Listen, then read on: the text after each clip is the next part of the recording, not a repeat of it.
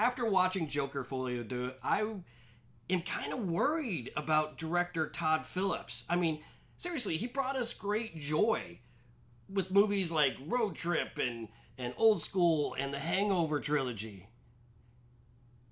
And then he came up with Joker.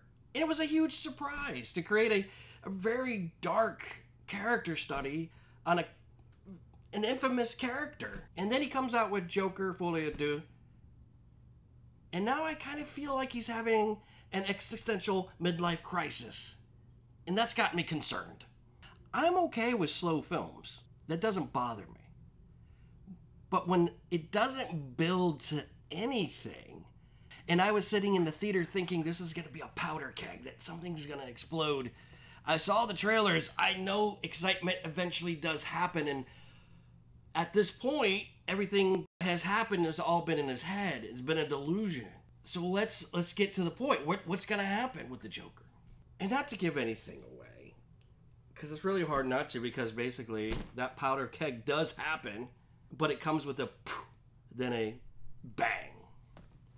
I liked the visual style of this film. It's beautiful to look at. It was gorgeous. But you just sat and you waited and you wanted something to just kind of emerge out of this and that's maybe that's the point maybe the point the whole point of the thing joker is that todd phillips really related to this character.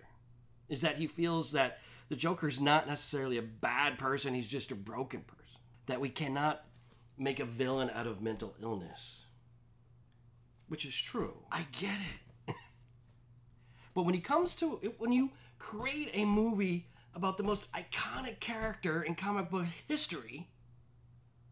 A character that has won two Academy Awards, one for Heath Ledger and one for Joaquin Phoenix, playing the same character. You feel like you're going to build on this. This is going to be something that grows and the fans get something exciting from this character. Instead, Todd Phillips continued this character study about mental illness and how we should see broken people. And then in the movie that it's Lady Gaga playing Harley Quinn to throw in a type of love story is interesting but then again, it just doesn't go anywhere. And you throw in the musical aspect. And I don't know why Todd Phillips said this was not a musical. It's totally a musical. it's totally a musical. And that part was fine because what the music does in this movie is give this movie balance. Because without it, this would be just, oh my God, tedious. This film did not deliver. And in fact, and I think I said it in my first impression review that Todd Phillips really just kind of flicked off the entire audience or entire fan base because I think we were all going in hoping that this was going to be more than what it is. That this iconic character was going to grow and that we were going to get something out of it. Instead, we got something completely different.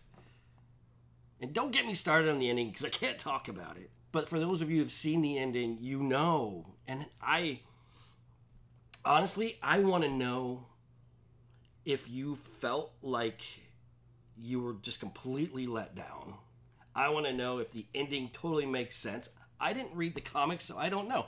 Maybe there's some valid reasoning about what why they did this to Arthur Fleck. I get the character study of how he the, the abuse and the and the mental illness and everything just kind of conjured up and and having that ending from the first Joker to the Folie à Deux, and then how this plays out, I I think we just kind of got scammed. Hey, comic book fans, look what I did! I'm really I'm very very curious to see what your thoughts are on Joker Folie à Deux, and I really would love to hear what you thought of the ending or what you thought about the second part of it. A lot of my first impression comments are people really not liking this film? So, uh, I, you know, if you love this film, tell me why. I really want to know. Uh, but these are just my opinions. I felt that it could have been it could have built upon something and grew into something bigger. Instead, it was just another character study, kind of uh, a rehash of the first film, except that they threw in uh, a love interest and some music. That's just my thoughts. Thank you for so much for going on this film journey with me. Please like and subscribe. Please comment.